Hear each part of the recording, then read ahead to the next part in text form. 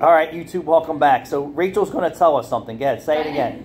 No. Say it again. No, no. Say it again. I don't put my political views out there. It's not a political view. It is. You, you're not saying it's your view. Oh. You're reading somebody else's post. oh, okay. Well, So read it. Biden-Harris accomplishments. Allow 10 million unvetted illegals into the country. Historic inflation crisis. Record high gas prices in all 50 states. Record high consumer debt. Release terrorists in the country. Ukraine-Russia war. Israel-Hamas war. Disastrous withdrawal from Afghanistan. Violent crime skyrocketing. Tried to jail political rival in the name of democracy. Lied to the American public about Joe's decline. Declared war on American energy. Historic low test scores for K through 12 students. Most unpopular vice president in history. And kicked people off the healthcare system that needed it and deserved it Yeah, to make room for the, the immigrants and migrants here.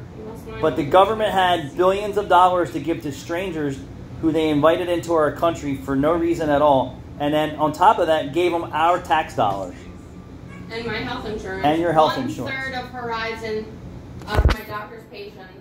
He said he lost one third of the state insurance through Horizon. One third of his patients. Because of Biden. Yep.